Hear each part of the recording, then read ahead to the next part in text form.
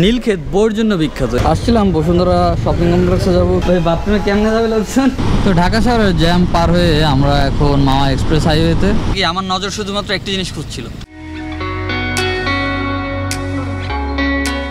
শুভ সকাল। হোয়াটসঅ্যাপে beautiful people আমি তো ভালোই আছি। গতকাল রাতে অনেক ভালো একটা ঘুম দিয়েছি। এখন শুভ সকাল বললেও ঘড়িতে কিন্তু অলমোস্ট পনেরো বারোটা। তো আমরা এখন রেডি হলাম বেরিয়ে পড়ব। তো বের হওয়ার আগে জনিবের সাথে তো আপনাদের পরিচয় করানো উচিত কি তাই না?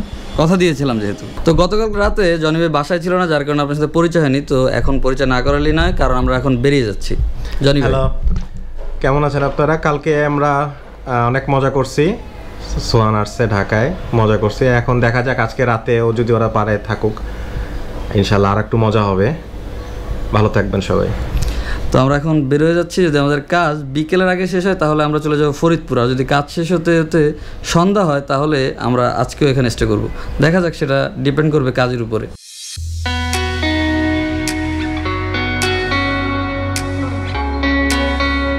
তো নীলক্ষেতে এসে সকালের ব্রেকফাস্ট এবং দুপুরের লাঞ্চ একসাথে ব্রাঞ্চ কমপ্লিট করলাম। এখানে যে জিনিসটা ভালো লাগছে তা হচ্ছে, আপনার সামনেই সব কিছু রান্না হচ্ছে। তো জিনিসটা আসলেই ভালো লাগছে, তো খাবারের দামগুলো কীরকম সেটা একটু জানাচ্ছি। একটু খাবারের দামগুলো বলেন তো ভাই। যে ভর্তা বাজি বাজি দিয়ে পঞ্চাশ টাকা। আর এখানে বেশিরভাগ হচ্ছে প্যাকেজ সিস্টেম ডিম দিয়ে মুরগি দিয়ে মাছ দিয়ে একটা প্যাকেজের একটা দাম।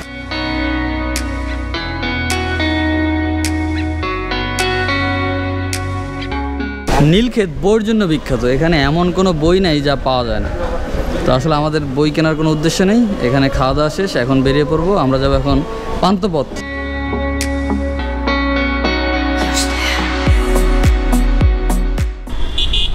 এইমাত্র আসছিলাম বসুন্ধরা শপিং কমপ্লেক্সে যাব। কিছু কেনাকাটা ছিল, কিন্তু আজকে সাপ্তাহিক বন্ধ, মঙ্গলবার। যার কারণে এখান থেকে ফিরে যেতে হচ্ছে।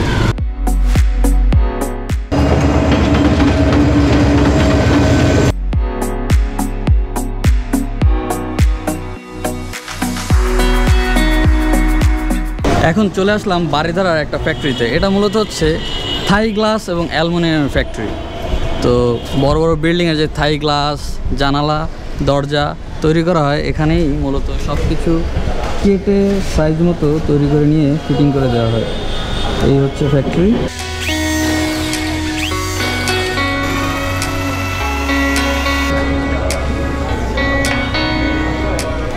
সিঁড়ির ডিজাইনটা দেখছেন?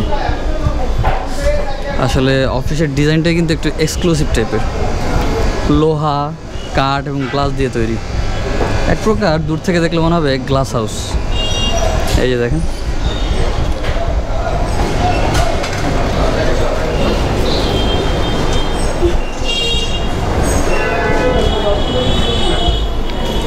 এটা হচ্ছে পান্না ভাইয়ের ফ্যাক্টরি তো এই যে পান্না ভাই আর রুবেল ভাই। বাথরুম। ওই বাথরুমে কেমনে যাবে লোকজন? এই মেনু কি করলাম?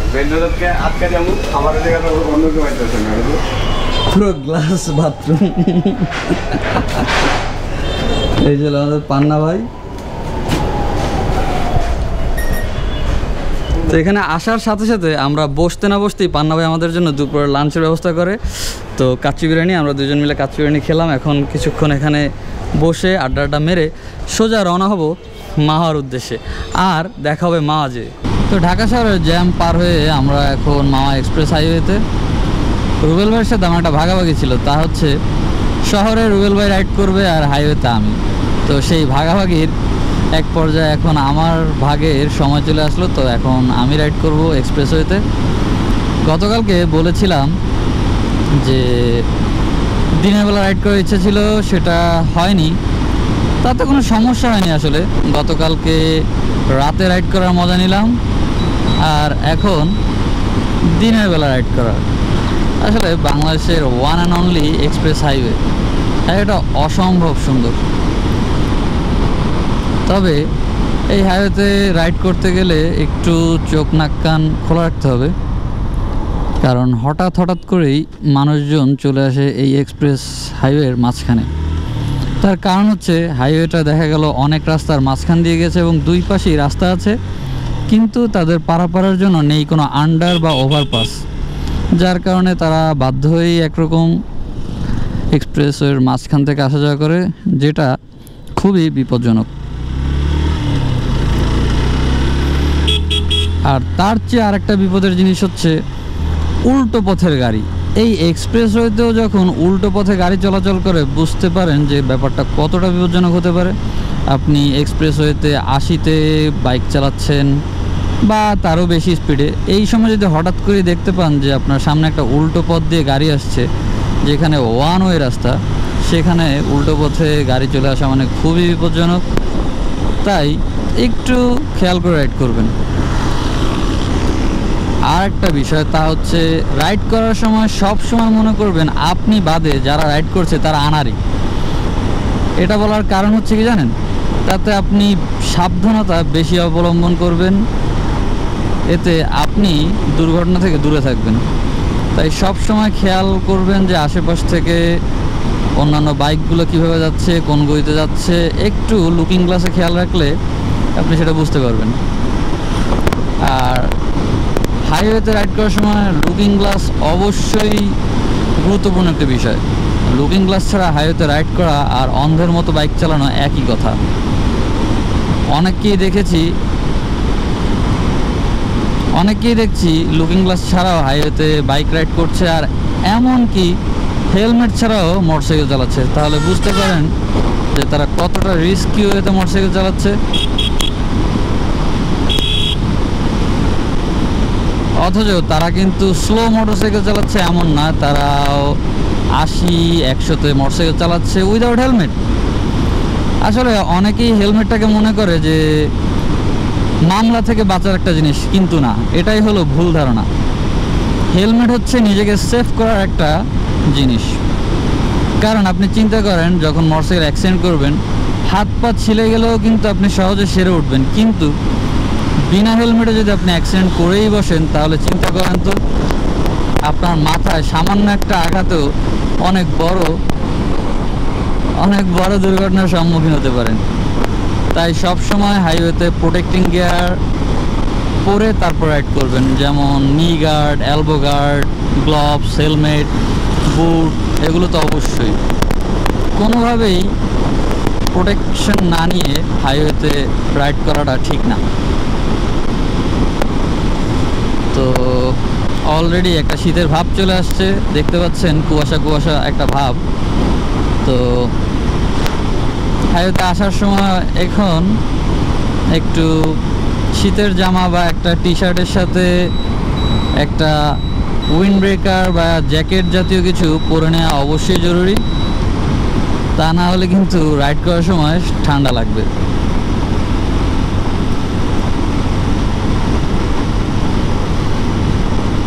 আর এই হাইওয়েতে আমি কিন্তু একটা জিনিস খুঁজে বেড়াচ্ছি তা হলো সাদা রঙের একটা মসজিদ। অনেকে হয়তো ফেসবুকে দেখেছেন, আমিও ফেসবুকে দেখেছি। মসজিদটা অসম্ভব সুন্দর, তো ওই মসজিদটার অপেক্ষায় আছি। তো চলে আসলাম মাওয়া ফেরিঘাট তো না, এটা হচ্ছে ট্রলার ঘাট। কিন্তু কোনো মোটর সাইকেলে দেখতেছি না, পার হওয়ার জন্য। কী হবে সেটা দেখতে হবে? তা আমাকে একটু সাইড দিয়ে দিলে তো আমরা ব্রিজের উপর তো চলে যেতে পারতাম ভাই। হ্যাঁ ব্রিজ তো পুরো কানেক্টেড না। তা কই তো আমরা টোল মোল দিতাম। তো টলার কই? আরে না এনতেই স্যার আমরা এসে নামলাম তো এনতে নামলাম তো এনে। হ্যাঁ তো? দেখা গেল আবার খালি টলার দেয় আরেক জায়গা থেকে লুট করে। আচ্ছা এক লোক আমাকে জিগেল না ভাই মা আপনারা পার হবেন তো সেই লোক কই?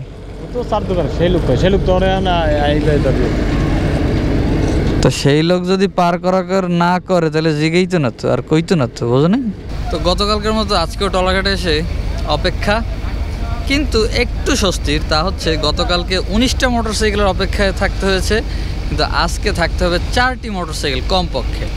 তো দুইটা মোটরসাইকেল আছে আমি এবং আরেকটা। তো আরও দুইটা মোটরসাইকেল অপেক্ষায় আছি। তো সন্ধ্যা প্রায় নামি নামি অবস্থা। কিন্তু নদীতে কিন্তু কুয়াশা নেমে পুরোই অন্ধকার হয়ে গেছে। তো মনে হচ্ছে আজকে ট্রলার যাত্রা শুরুই হবে মাগরিবের পরে। তো এখন এই চার দোকানে বসে একটু চা খাই, পানি খাই। কারণ চারটি মোটরসাইকেল হওয়ার আগ পর্যন্ত ট্রলার ছাড়বে না, অপেক্ষাই করতে হবে। আজকে ঢাকা থেকে যখন বের হই, ঢাকা মা এক্সপ্রেসওয়েতে ওঠার পর থেকে আমার নজর শুধুমাত্র একটি জিনিস খুঁজছিল। তা হচ্ছে আমার পেছনে যে মসজিদটা দেখতে পাচ্ছেন, এই মসজিদ। তো পুরো এক্সপ্রেসওয়ে শেষ করলাম, যখন ট্রলারঘাটে আসলাম, তখন রুবেল ভাইকে বললাম, মসজিদটা তো পাইলাম না। তো রুবেল ভাই বলতেছে, মসজিদটা আসলে ঢাকার পাশে না, মসজিদটা হচ্ছে ভাঙার পাশে। তো আমি বললাম, ভুল হচ্ছে কার? বলতেছে, ট্রলার পার হই, তারপরে দেখাবো। তো এই মাত্র এসে আমরা মসজিদের সামনে দাঁড়ালাম। মসজিদটা অসম্ভব সুন্দর। আর কি, পুরো মসজিদটা হচ্ছে সাদা রঙের। যদি দিনের বেলা আসতা, তাহলে আপনাদেরকে আরও ভালোভাবে দেখাতে পারতাম। কিন্তু রাতের বেলা হওয়াতে দূর থেকেই আপনাদেরকে দেখাচ্ছি, আমি নিজেও দেখতেছি। মসজিদটা অনেক সুন্দর, এখানে অনেক লোক আছে অলরেডি দেখেন, মসজিদের সামনে অনেক লোক ছিল একটু আগেও। ছবি তুলতেছিল আর এই হাইওয়ের পাশে অনেক গাড়ি দাঁড়িয়ে দাঁড়িয়ে মসজিদটা দেখতেছিল। এবং অনেক মানুষ আছে শুধুমাত্র এই মসজিদটা দেখার জন্য। তো দেখলাম, ভালোই লাগল।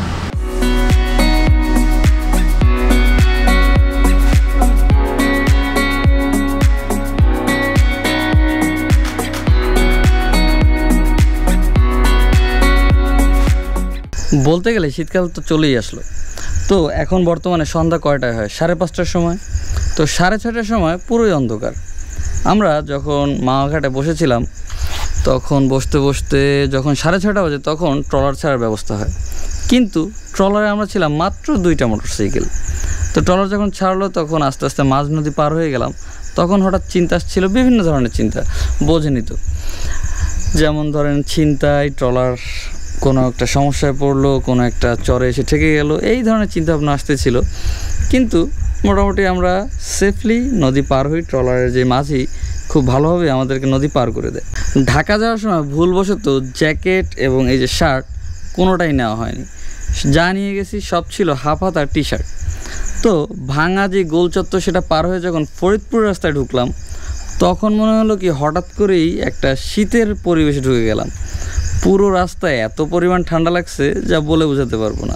যাই হোক, পথে ঠান্ডা খেতে খেতে চলে আসছি ফরিদপুরের সাইটে এখানে আসার পরে শরীরটা একটু গরম করে ফ্রেশ ফ্রেশ হয়ে খাওয়া দাওয়া শেষ করেছি। আর এখন রাত বাজে সাড়ে বারোটা। তো আশা করি আজকের ভিডিওটি এনজয় করেছেন। আর এই পর্যন্ত যেহেতু দেখেই ফেলেছেন, তাহলে লাইক কমেন্ট তো অবশ্যই করবেন। আর যদি অনেক বেশি ভালো লাগে, তাহলে শেয়ার করতে মোটেও ভুলবেন না। আর আপনি যদি আমার চ্যানেল নতুন হয়ে থাকেন চ্যানেলটি এখনই সাবস্ক্রাইব এবং বেল আইকনে ক্লিক করুন, যাতে পরবর্তী কোনো ভিডিও আপনি মিস না করেন। দেখা হবে আগামীকালকে।